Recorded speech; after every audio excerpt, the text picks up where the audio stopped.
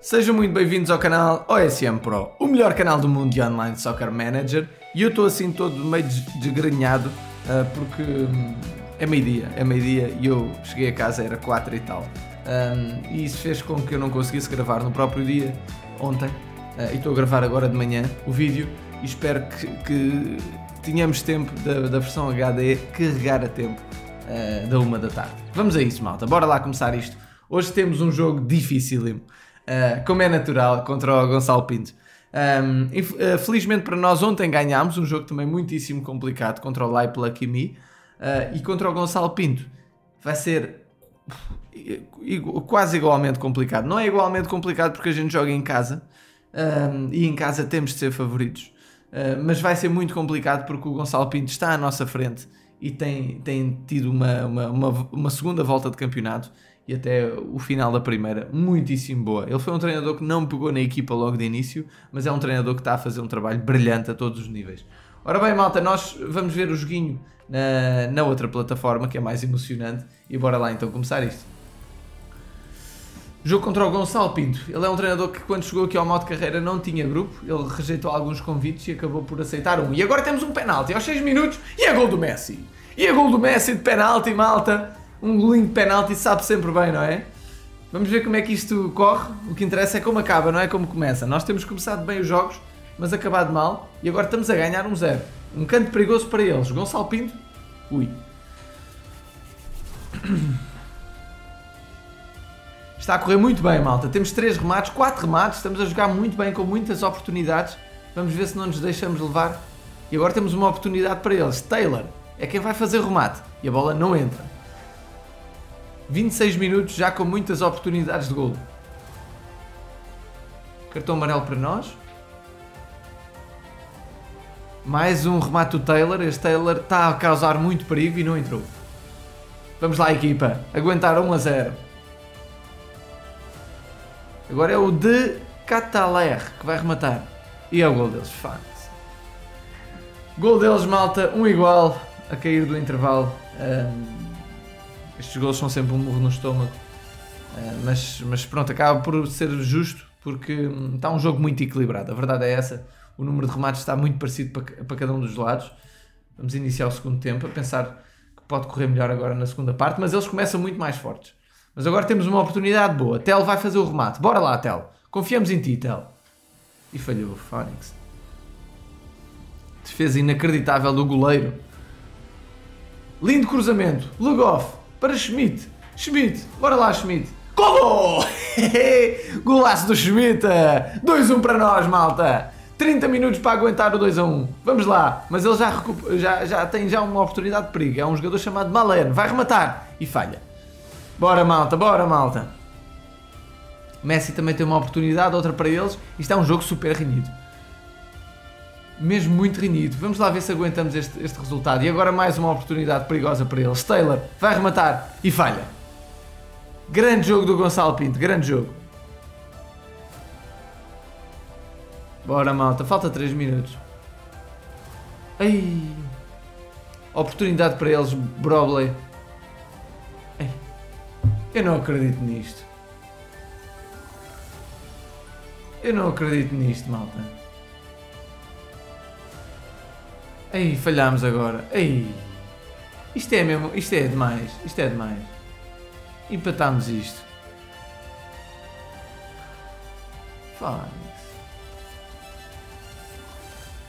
Epá, não quer dizer que seja injusto, porque até acho que não foi, porque muitas oportunidades houve para ambos os lados. Só que estar a ganhar 2-1 aos 80 e tal minutos, aos 87, e depois sofreu 2-2, é doloroso.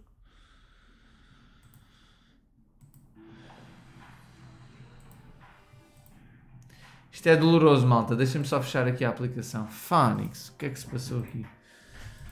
Bem, estatísticas de jogo, malta. Penso que foi equilibradas, acho que para ambos os lados. 11 remates a 8, até eles tiveram mais oportunidades. Portanto, o empate justifica-se. Não, não há por onde pegar nesse aspecto. Custa é ver o gol sofrido. Isso é que custa. Eles marcaram aos 88 o gol do empate. Ah, portanto, não foi um bom jogo da nossa parte. O 4-5-1 deles esteve muito bem. Um, e nós, o, o 4-3-3 não foi, não foi muito bom, não foi de facto muito bom.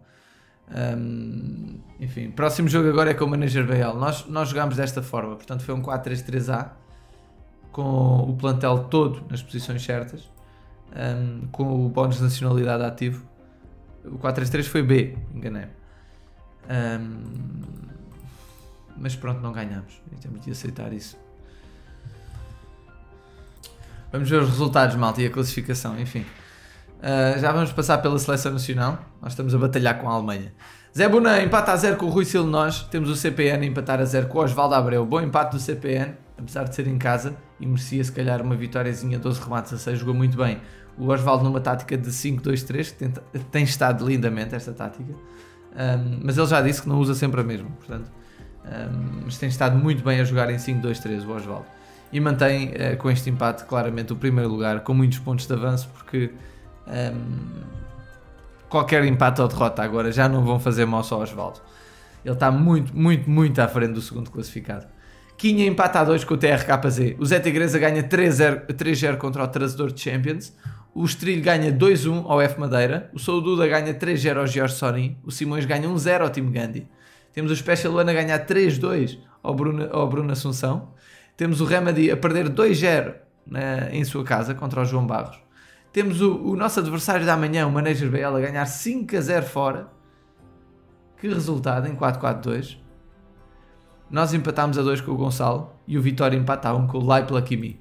Uh, olhando para a classificação, Osvaldo mantém o primeiro lugar com 15 pontos de avanço. Uh, ele mantém também uma vantagem tão grande porque o time Gandhi estava em segundo e perdeu. Portanto, mesmo, mesmo empatando, ele não, não perdeu pontos em relação ao segundo classificado. Os Trilho e o Sou Duda sobem para o pódio um, o Street já estava no pódio, estava em terceiro, mas só para segundo, o Sou Duda para terceiro. Lá e Kimi volta a aproximar-se, um, o Bruno deixa um bocado, aqui em sexto lugar. Nós, com este empate, também descemos qualquer coisa. Era a nossa oportunidade para passar o, o Gonçalo Pinto, fazíamos os 56 pontos, ficámos aqui nesta zona, uh, mas desaproveitámos isso. E, e olhando para, para, para o que se passou no jogo, não nos podemos queixar do empate ok? Realmente custa ver o empate, mas não nos podemos queixar dele porque acaba por ser justo. Ora bem, maltinha, vamos dar um saltinho rápido nas outras contas. Uh, na liga de recrutamento jogámos contra o Computer? Não. Ganhámos 2-0, mas acho que não foi contra o Computer, acho que ele foi, desistiu agora. Bem, não interessa, ganhámos é o que importa. Um, houve vários treinadores que já desistiram da liga. Um, mas eu, eu, recomendo sempre vocês a não desistirem deste tipo de ligas, porque é muito importante para a vossa própria evolução. Não quer dizer que esta liga seja muitíssimo competitiva, não era, mas uh, é competitiva, é uma liga cheia uh, e é uma oportunidade boa para vocês jogarem contra treinadores ativos um, para testarem táticas e, e, e, desistir não vos ajuda nisso. Um, portanto, temos aqui uma, uma liga agora com menos treinadores Uh, que quem está a fazer as melhores prestações é o Baga e o David, a nível de plantel, a nível de, de classificação também. O Gonçalo estava muito bem no início e agora está-se está a deixar cair um pouco. Um, ora bem, malta, temos, temos então a Liga do Zitismo também aqui. Nós jogámos com um treinador chamado Waven. Um, e eu. Olha, gol nosso, Lukaku. Waven é um treinador nosso subscritor. Eu já, eu já vi este nome várias vezes. Empata 1. Um. Um, jogámos como neste, nesta gol nosso. Já não me lembro como é que eu joguei, malta. Eu fiz a, a tática um bocado à pressa, porque estava no trabalho. 3-1, estamos a ganhar muito bem. 3-2, está um jogo com muitos golos. Gol anulado. 3-2, será que eles ainda vão a tempo do empate?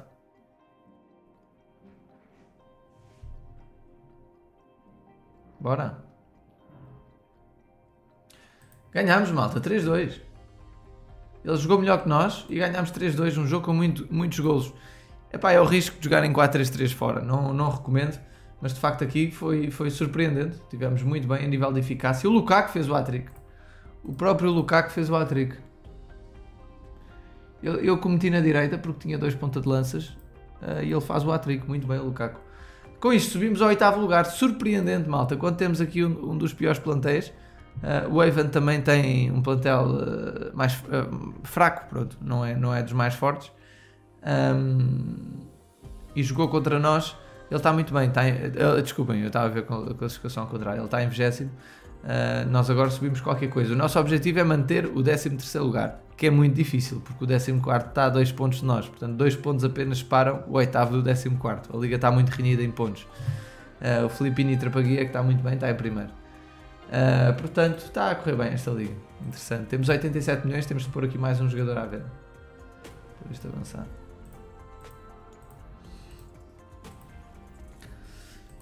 Ora bem, este é o segundo dia de preparação da batalha entre Portugal e Alemanha. Nós temos um, estado a evoluir o plantel, é muito importante ter os jogadores à venda, quatro jogadores à venda interruptamente e pensar nos jogadores que vamos querer comprar.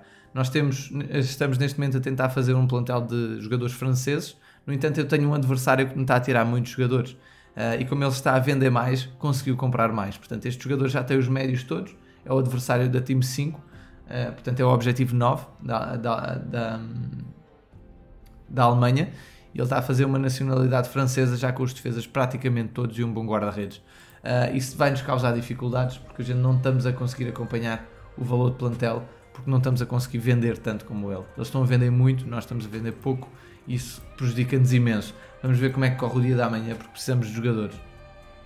Ora bem, o próximo jogo é contra o Manager Bale e como é natural, nós jogamos sempre contra os treinadores quase na sua melhor forma de sempre. Manager Bale nos últimos 5 jogos ganhou 3 e empatou 2, os últimos 2 foram vitórias e vai jogar contra nós na sua casa. Vai ser dificílimo, um, ele tem uma equipa muito, muito boa, um, 1700 milhões, um guarda-redes 130, incrível, uh, uma defesa toda no mínimo 117, um meio campo também fortíssimo e um, e um ataque também muito bom. Eu acredito que ele vai jogar ou com dois avançados ou com um, porque tem este muito cansado. Um, vamos ver como é que ele joga. Vamos ver como é que ele joga. Uh, eu estou a pensar jogar em 4-2-3-1 ou em 4-5-1. Ainda vou pensar melhor. Uh, ora, ora bem, olhando para o vídeo de ontem, para o episódio de ontem,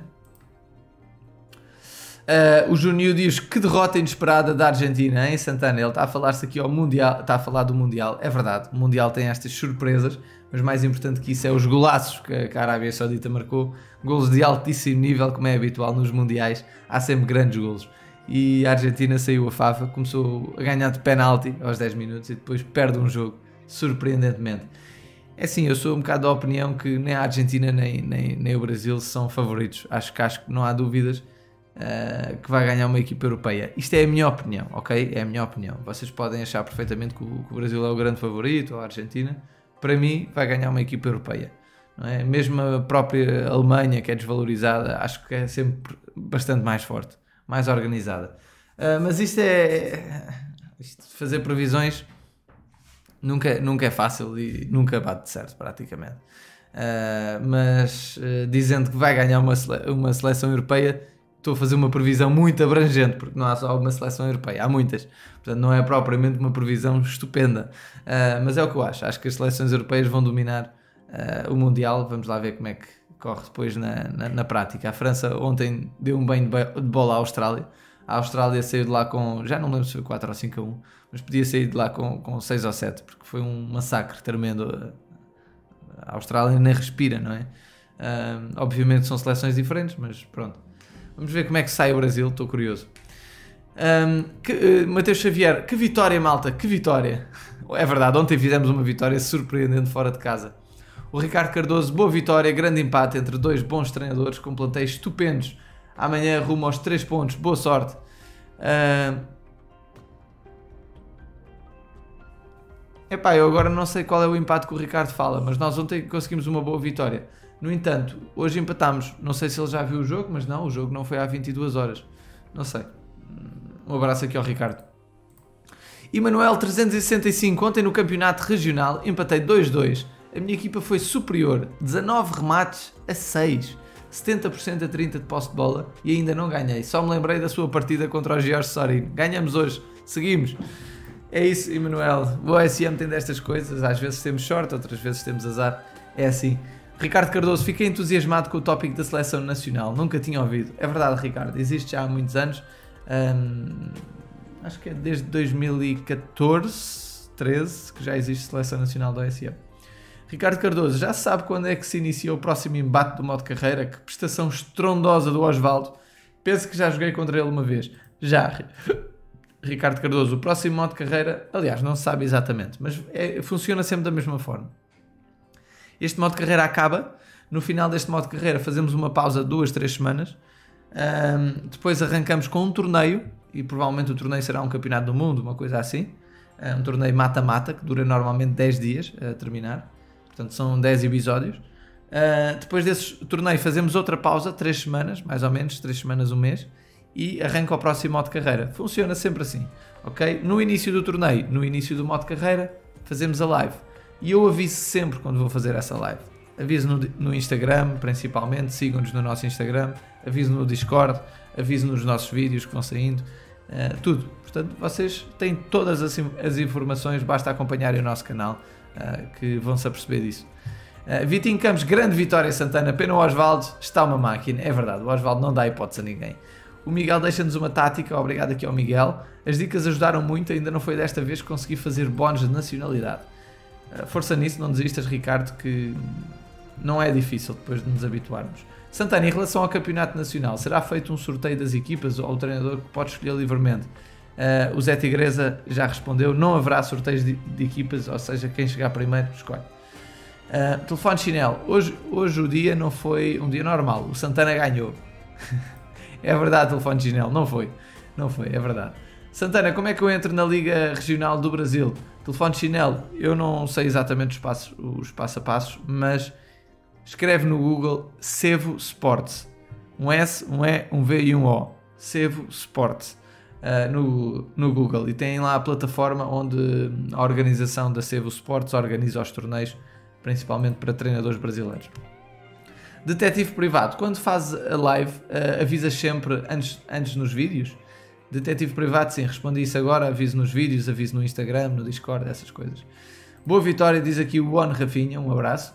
Leandro Torres diz: Nunca venci um jogo com as tuas táticas, uh, mesmo tendo equipas bastante superiores às. Nunca venci um jogo com as tuas táticas, mesmo tendo equipas superiores às do adversário. O problema é meu ou é destas táticas rascas? Diz o Rafael Campos: o problema é que não podes copiar as táticas que encontras por aí, muito menos deste canal. Tens de ser tu a criar. Um, a melhor é experimentar coisas novas. Eu nunca usei táticas de ninguém, nem copiei. Só jogo para me divertir e vou ganhando ligas e torneios. Leandro Torres, um, aquilo que eu te aconselho é. Uh, eu já expliquei isto tantas vezes. Malta, quando eu faço uma tática meta, portanto 4-3-3, 4-2-3-1, 4-5-1, 4-4-2, tudo o que for, uh, eu dou intervalos e estes intervalos são os mais utilizados. Vocês, dentro, de, dentro destes intervalos, vocês conseguem criar as vossas táticas uh, competitivas. Conseguem mesmo. Portanto, Leandro, se tu não estás a ganhar, alguma coisa estás a fazer de mal. E no OSM não funciona só as táticas, portanto, não basta estás a jogar com jogadores de 50, metes para ali as táticas e ganhas os jogos, não é assim que funciona. Portanto, tem que ser um conjunto todo. Portanto, desde, desde táticas especialistas, um, também um bocado de adaptação à tática do adversário, portanto, um, perceber que o adversário, se é mais forte, não jogar ao ataque, esse tipo de coisas básicas, uh, e no próprio, na própria evolução de plantel é o aspecto mais importante. Portanto, um bom plantel um, significa bons resultados, ok? O plantel, ao fim e ao cabo, é o mais importante de tudo porque tu chegas a um nível competitivo, os treinadores sabem jogar, ok? Todos eles têm boas táticas. Um, umas resultam melhores numas situações, outras noutras, é normal, uh, mas todos têm boas táticas. Uh, portanto, aquilo que tu podes fazer é tentar evoluir o teu plantel para seres mais forte que os adversários um, e no caso de ser superior, como dás aqui o exemplo, jogares mais ao ataque. Portanto, se não gostaste do 4-3-3, muda algumas coisas. Se calhar estás a jogar demasiado ofensivo. Uh, se não gostaste do, do, do 4-3-3, podes jogar em 4-4-2, podes jogar em 3-4-3. Há mais táticas ofensivas. Uh, isso tudo depende também do teu 11 inicial, das posições específicas dos jogadores, das fragilidades do adversário, qual é o lado, usas o espião para ver qual é o lado mais fraco do adversário, os piores defesas estão posicionados em que sítio, para tentares atacar por esse lado. Uh, portanto, há várias coisas a ter em conta. Uh, mas o problema neste caso é de ti, portanto, tu não estás a ganhar, é um problema teu e vais ver que com o tempo vais melhorar, porque isto depende da tua experiência de treinador. Carlos Horta, coloquei um post de recrutamento para as lontras B e desapareceu. Foi censurado movimentos pidescos do, no canal. Fica a questão. O, o Carlos Horta E eu disse: não, é o YouTube, apagam vários comentários automaticamente. Já reportei eles, não podem fazer nada, é tudo automático. Malta, já muita gente se queixou que tem alguns, alguns comentários no YouTube que são apagados. Eu nunca apaguei nenhum, portanto, até hoje. Só apaguei um e foi no outro canal, no canal de Futebol Manager, uh, porque denunciei o comentário, porque foi uma, uma pessoa que foi mal criada e eu denunciei. Uh, aqui nunca, nunca apaguei nenhum, portanto, tudo o que desaparece não sou eu que apago. É o próprio YouTube que tem sistemas automáticos rigorosos Uh, eu não sei, eu acho que é quando eles veem uma palavra ou qualquer coisa ali que eles não gostam, até pode ser uma, uma, uma ofensa noutra língua que a gente não sabe, e apaga o comentário sem dizer nada a ninguém. E eu não consigo explicar isso porque acontece simplesmente. Maltinha, vamos fazer aqui só um amigávelzinho com, com a tática do Miguel Ferreira, um, 4-2, um 5-2-3, bola longa. Portanto, 5-2-3 montado e a, e a tática é um bocado estranha, realmente é uma tática bastante estranha, com muito atacante 20 de pressão e 20 de construir jogo. É uma tática de bola longa, vamos ver como é que corre. Uh, estas táticas são arriscadas, mas é interessante ver estas táticas porque são fora do vulgar. Maltinha, vamos jogar contra o adversário de hoje, o Gonçalo Pinto.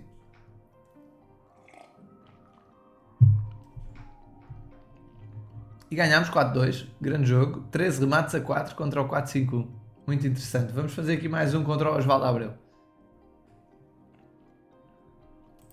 o líder do campeonato, que está a fazer um dos melhores modos de carreira de sempre, se não o melhor, eu acho que é o melhor. E a vitória é 3-1, portanto correu muito bem estes amigáveis, malta, quem quiser teste nas vossas ligas. Um abraço a todos, obrigado por estarem aqui connosco.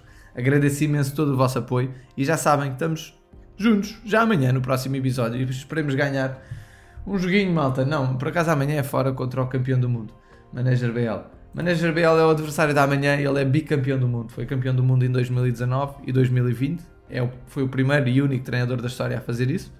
Uh, é, é, tremendamente difícil e foi realmente uma coincidência danada ele ter sido duas vezes campeão, campeão do mundo, mas muito mérito é dele. Uh, e hoje vamos defrontá-lo. Ele é um treinador do grupo do grupo Revenge, portanto que é o grupo número 2 do mundo o Manager BL, portanto os Ravens estão em segundo, já tiveram em primeiro há bem pouco tempo uh, e vai ser um adversário duríssimo amanhã. Um abraço, malta. Fiquem bem. Até amanhã. Maltinha, não se esqueçam de deixar um likezinho aqui no final do vídeo, sabem que isso nos ajuda sempre imenso e nós precisamos de todo o vosso apoio. Um abraço, até amanhã, malta. Fiquem bem, passem um ótimo dia e boas vitórias.